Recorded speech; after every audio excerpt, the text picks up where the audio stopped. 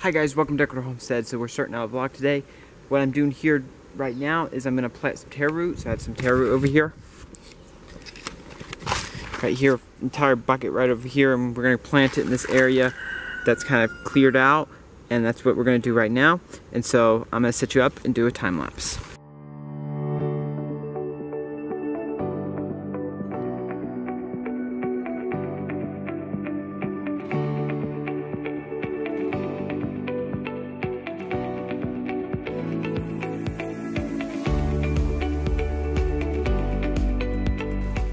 So now I finished just planting all these. That was a big bucket, so it took me a little bit. I wasn't able to capture the entire time lapse, so because the power, because the battery went out.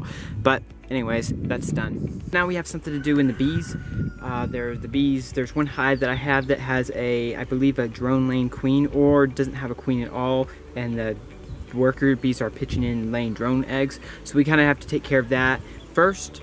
Um, we have something, we have like a screw that is screwed into the stand so somebody can't easily remove it if somebody's trying to steal it.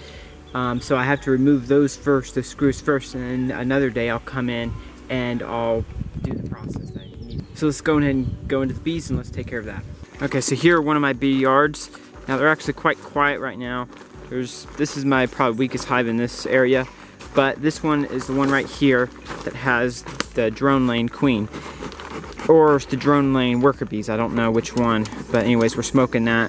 What the problem here is we can't do the process right yet and go ahead and get the queen out, the drone laying queen out, because we have the way we want to do it. And the problem here is that we can't do it because these poles are screwed to the the hive. So we have to go inside the hive and unscrew them with the uh, Phillips screwdriver.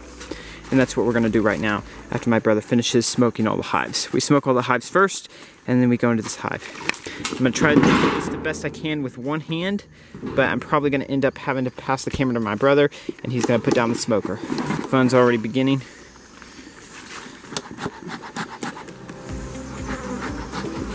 Uh, fun, fun beginning. First we're gonna check for eggs one last time. You can see it's just drone laying eggs, just drone eggs. I really don't see any hope for this hive unless we do something about it. So we're gonna take this over here and stick this right over here. If we see the queen in the process, we're gonna take her and smash her. So, I'm trying to clear out space to find the screws, so let me see here. Can't see the screws yet. Let's pull these over. There we go, there's a screw down there. So let's go ahead and get the screwdriver. So let's get this fixed. Okay, I'm gonna have to turn you off for a second because they propolised inside the Phillips screwdriver. Give me a second.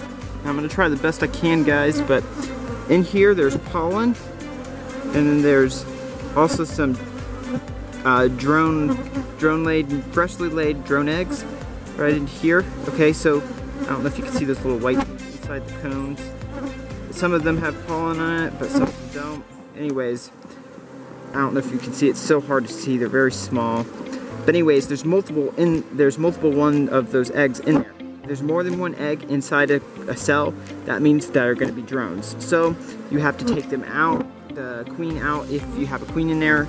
And if you don't have a queen in there, that means that you have a, uh, a worker bees laying drone eggs. And that's not all that good because it doesn't help grow the hive because you don't get worker bees, which is what you need. Drones don't help, and there's a drone right there. It's just basically the male that mates with the queen. I'm just gonna set this right down here. I'm still trying to get that screw out. It's really hard.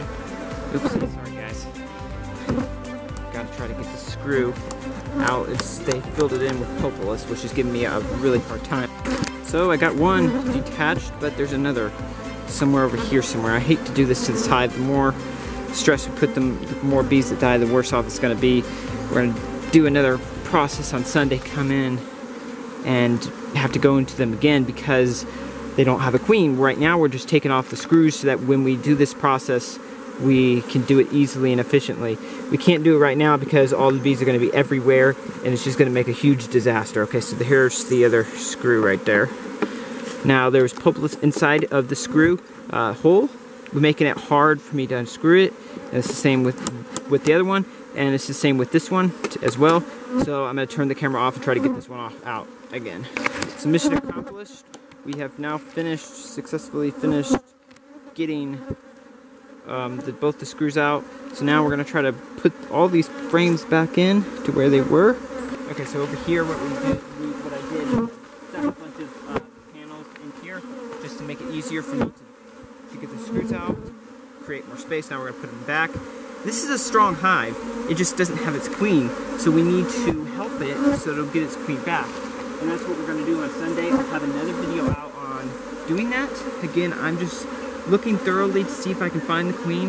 If I can find the queen, then I can confirm it's a drone laying queen and not the drone laying drone laying worker bees. If it's worker bees, then you're I'm still gonna have to do this process, which I'm gonna show you in another video.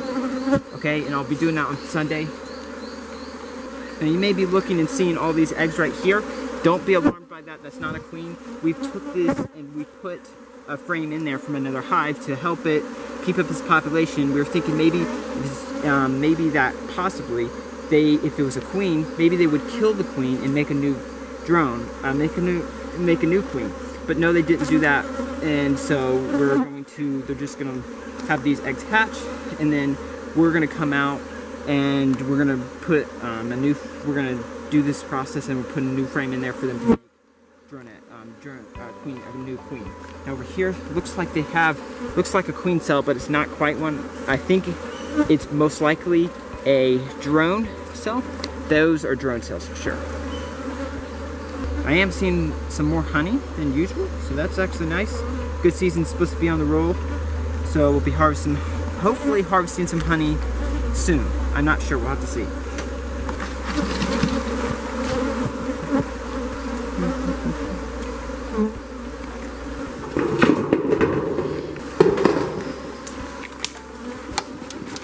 I think the smoker's pretty much out. Oh, still going a little bit. Let's grab the butter knife. We really don't have too much professional tools. Mm-hmm. Butter knife and Phillips screwdriver. Let's get on out here. Basically, I'll just give you a rundown what I'm gonna do on Sunday, and you'll see a video on me doing it. Basically, what I'm gonna do is I'm gonna take the hive, the entire hive. This is why I want them all calm. And I'm gonna take them when they're all in the hive and move them 30 feet away from the direct area that they are, the box and everything. Then I'm gonna take them, shake them all out of the hive, every last bee, okay? I'm gonna take the box and put it back in the direct, the area it was. Okay, what is that gonna do? Well, what it's gonna do is all the bees that, the nurse bees, the worker bees that were laying eggs, they don't, they've never been out of the hive and they don't know where the hive is. So they won't be able to make it back to the hive. But all the forager bees that don't lay eggs will know the way back to the hive and they'll fly back to the hive. Now, from what I've heard, sometimes other bees will, will uh, worker bees, if there's not enough other bees doing a certain duty, this is what I've heard, they will uh, take up a duty that is needed. So if there's there's no work nurse bees, the work forager bees will take on the responsibility of the nurse bees because they're not there. And then they'll make a queen, which what we're gonna do is we're gonna put in some eggs for them to make a queen. And that's how we're gonna roll with this. I think that has worked with my other hive, and I think it's gonna work with this hive, so that's what we're doing. Well, hello, ladies and gentlemen. Anyways, these are the four hens right there. The four hens are the four troublemakers we have. The rooster, he's not, well, he is a troublemaker, but um, he's not the troublemaker, the type of troublemaker these hens are. These hens, no matter what you do, uh, they're gonna get out unless you put them in a pen like this. And that's the problem with all four of these chickens, especially the black one right there, the black hen. She's a constant problem maker. Now the rooster, he's a problem because he likes to bully all all the other roosters. He's the biggest of them all, and so he tends to bully them all. And so that's why he's in here. So it kind of serves a double purpose to keep the ladies happy with having him in here, and keep all the other roosters happy as well. By the way, our um, mandarina tree is starting to look good. Hopefully it's not too windy. But anyways, there's some new growth starting on it. And I think we've even saw seen some little bit of fruit a couple months ago on it. So maybe the next season, this coming season, it will fruit. I don't know. So guys, I'm out here and this is our lemon tree where we get most of our lemons from. And as you can see, or maybe you don't realize it, but This right here is what we consider a bad weed that kind of like an air plant that grows on the tree. And so we have to try to do the best we can to prevent this stuff from growing on the tree, but you can tell it's just all over it. I don't know if you can tell it's just everywhere, all over this tree. Also, side note, I wanted to show you, in a previous video I said these um, lemons are orange, not yellow. And as you can see, it's starting to turn yellow. I think there's one further back there that you can see is completely orange.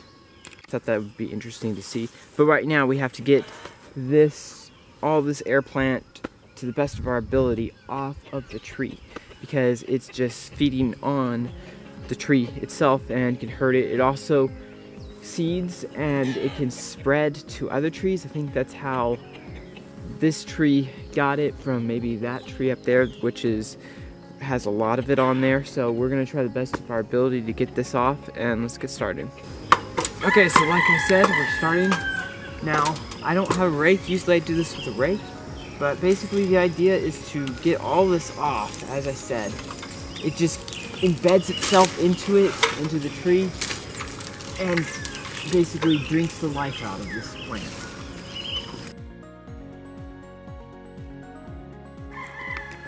So there we go, it's mostly clean. I got as much of it as possibly I could off of it. My brother helped me a little bit. My sister was filming, that was good. So that's how much we got off of it. There's also a lot more spread kind of all the way around the tree because we've been throwing it everywhere. And we also have this tree over here. This tree, if I'm, my sister said that this tree has some on it too. Um, I don't see any on it. Oh, wait a minute. No, there some is. Okay, so it's right up there. It's just right up here. So I'm gonna get up there and I'm gonna take that off. And I just heard my one of my sisters say that they just had a guinea pig that was completely black that was born. So I'm gonna go take you and look at that in a minute. But let me first get this off and then we'll go over to the guinea pig shed.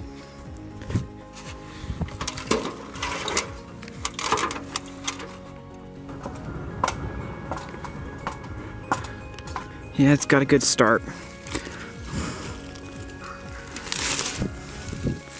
There's some of it.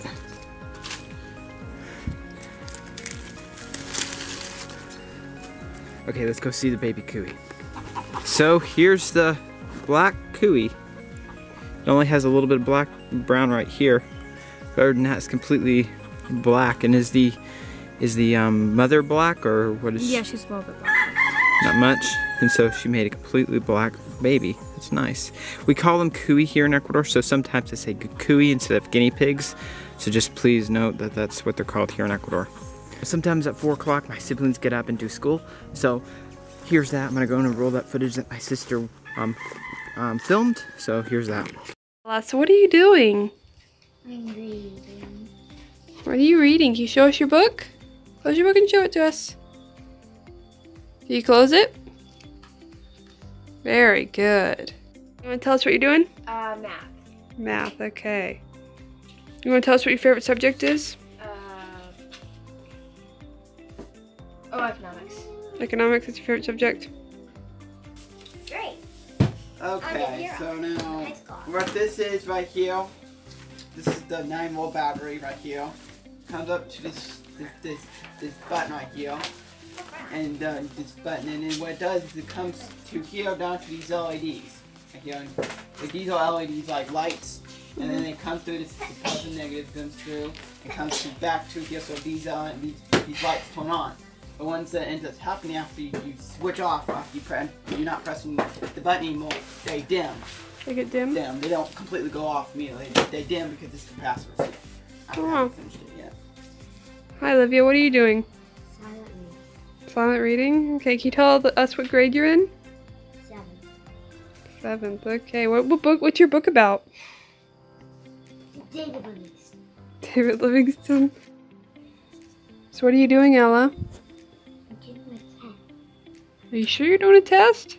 Uh, I mean, um, math. Your math. Very good. What number is the lesson? Are, what number lesson are you doing? What's that? What number is it? Look over here. Um, What number is that? it's seventy-nine. 79. Very good. All right, keep doing it. Izzy, what are you making? Uh, DNA model. DNA model. Okay, so you're making the looks like the backbone of DNA. Can you hold up your thing, Izzy? Yep. Here's your DNA ladder. model. Yeah, it's like a ladder, but that's what DNA looks like. It's supposed to be able to twist, but our beads are too big, so I think that's why it's not twisting. Um, you want to tell us what you're doing? Yep. Um, I am reading the Bible. You're reading the Bible. Well, silent reading. We're silent reading, and what part of the Bible are you reading? Yeah, the people across the river. Um, the- Across the Red Sea? Yeah, yeah, yeah. Yeah, across the Red Sea. Red Sea, okay, very good. Currently, we're having a bead Oh, break. yeah, it could be a birthday. It could be a- Oh. it could be a- Sam, are you getting any beads? No, I'm not getting any beats. course I'm, not. lying- I'm lying down. Yeah. It's dynamic. You do what? It's dynamic. That's dynamic of what? For a necklace. No, no. Oh, a, this is uh, some tough bracelet. thing. Oh wait, am I supposed to? Alright, well, not erase the board and write write on it if you want. Uh, Okay. No.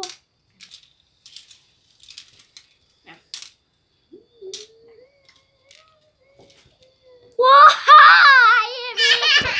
Hey, stop it! Stop Hope you enjoyed coming along with me on this vlog. If you did, make sure to give a like. Make sure to subscribe if you haven't already. Comment below, let me know what you thought about this video. And if you want to support me and what I'm doing on YouTube, then go on over to Patreon slash Ecuador Homestead. You can contribute to me over there. I'd really appreciate that. Like, subscribe, comment below, check me out on Patreon, and I'll see you next time at Ecuador Homestead.